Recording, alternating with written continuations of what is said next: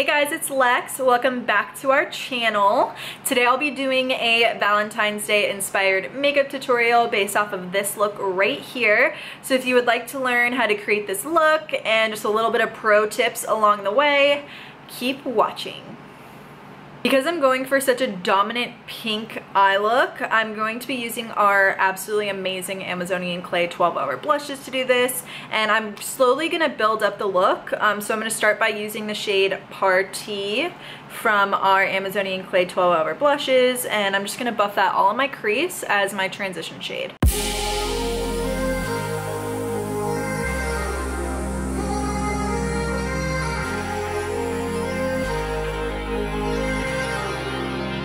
Next I'm going to be using the shade Flush, which is this really gorgeous, very pink shade right here.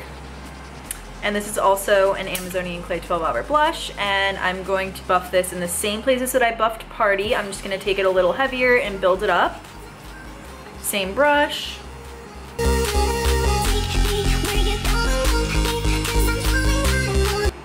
I want to focus on the outer corner as well, so really buffing the color into my outer corner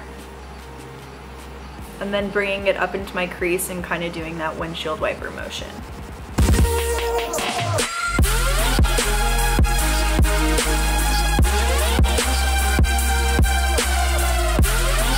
And then I'm also going to take a little bit of flush and place it along my lower lash line. And I'm just using a nice precise pencil brush for this.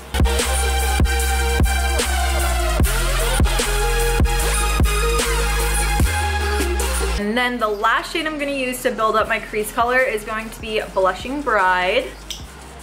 And I love these blushes because not only are they really pigmented, but they also have Amazonian clay in them. So they're gonna have that 12 hour power. They're gonna stay on all day and you're not gonna have to worry about your shadow creasing or dissipating as far as the color payoff goes.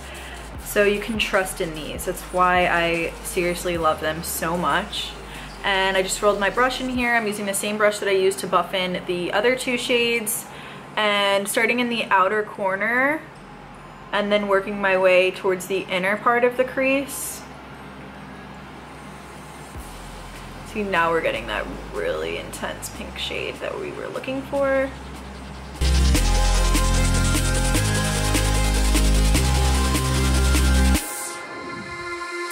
And then I'm also gonna buff some of Blushing Bride on my lower lash line too.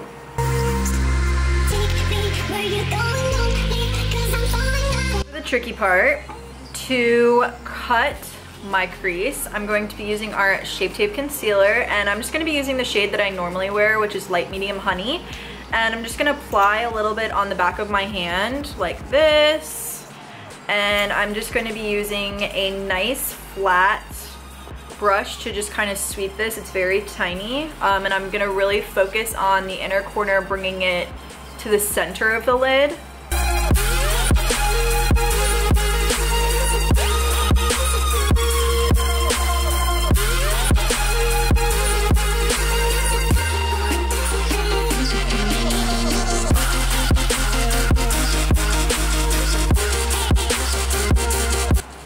Also gonna go back in and clean up the crease, the cut crease. I'm gonna show you guys how I do it in a little bit.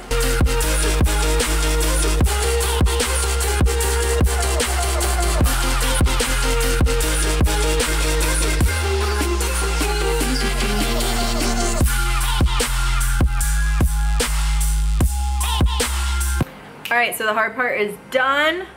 Now let's clean up that crease just a little bit more. And I'm going to be using my nice precise pencil brush for this, going back in with the shade Flush. And I'm literally just gonna place this like right around where I just placed my concealer, just so that it's nice and clean.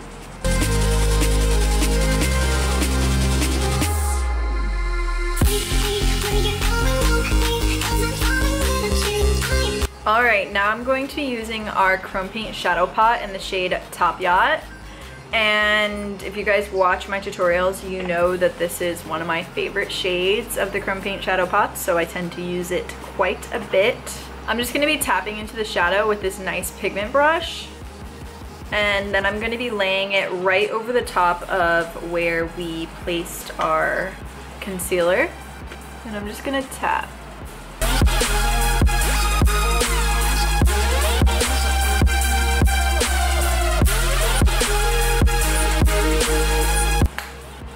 Also gonna place a little bit of Top Yacht on the inner corner.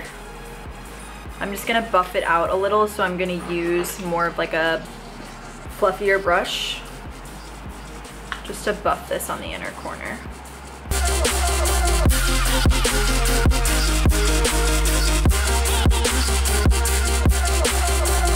So now to glam up the look, bring it from zero to 100 real quick, I'm going to be using our Foil Finger Paint Shadow Palette, which as you guys know, this is one of my favorite palettes currently, and I'm just gonna be tapping into the shade Stargazer right here, the really pretty iridescent shade, and I'm gonna place that all over the lid, and I'm also gonna highlight a little bit with it, so let's do this.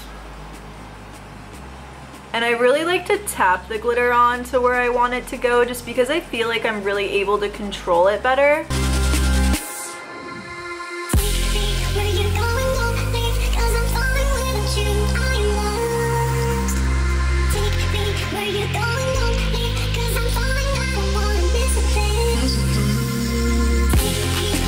As you guys know, I love glitter, just love it so much.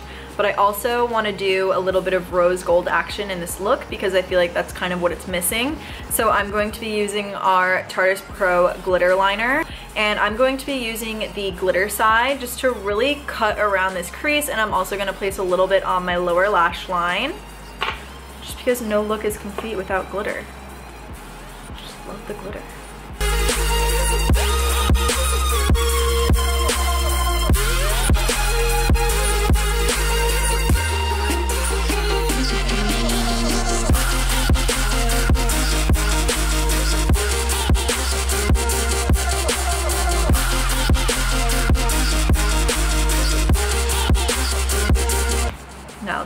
On the lower lash line.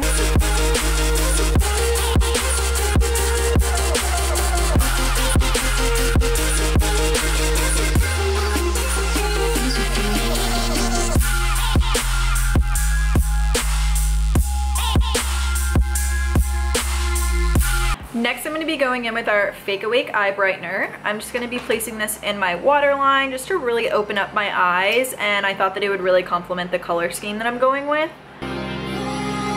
I love this stuff because it really does open up the eye.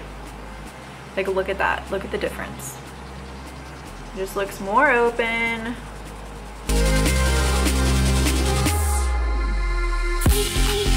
This eye look would for sure not be complete without our Tarteist Double Take Liquid Liner. So I'm going to be creating an awesome wing. I'm hoping that it's awesome. And I like to start from the inner corner, drag my way out, and then build my wing from there.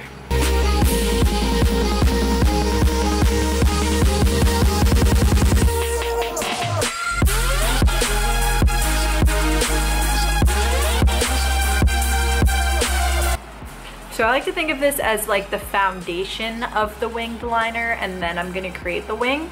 And I like to go from the outer corner aiming up towards the tail of my brow.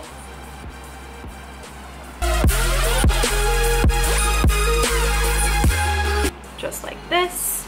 And then connecting the two lines together.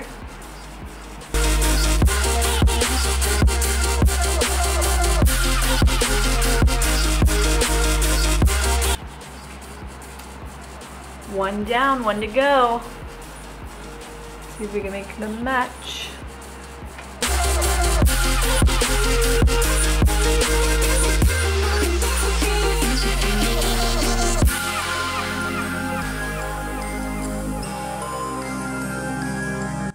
Now I'm applying some of our lashes in the style Goddess.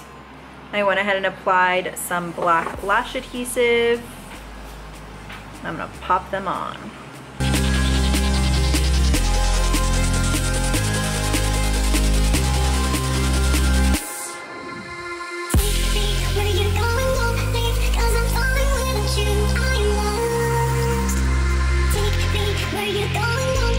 To glam up the highlight, I'm going in with the same shade Stargazer from our Foil Finger palette.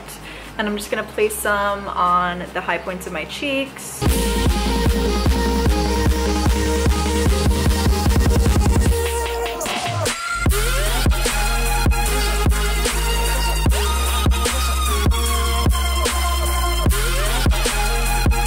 For my lips today, I'm going in with our Tarteist Quick Dry Matte Lip Paint in the shade Festival and I thought that it would match really nicely with my eye look and I didn't really want to do anything too bold so this is the shade that I'm using and I've actually found that this is really really beautiful like everyday mauve color so it's one of my faves.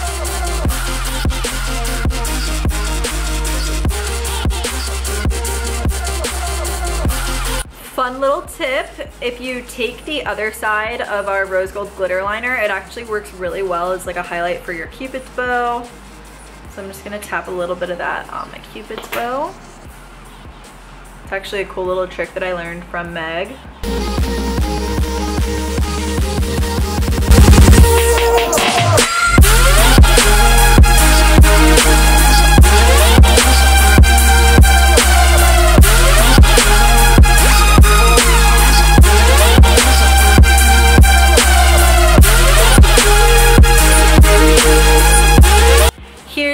Final look on how to create this glam rose gold sexy glittery situation for Valentine's Day. I loved creating this look for you guys and I actually got it from one of our subscribers. She had commented on one of my recent vlogs and said that I should do a sexy glam Valentine's Day look so I hope that this is up to those standards. Her name is actually right here, so thank you so much for that comment and for the idea of this vlog.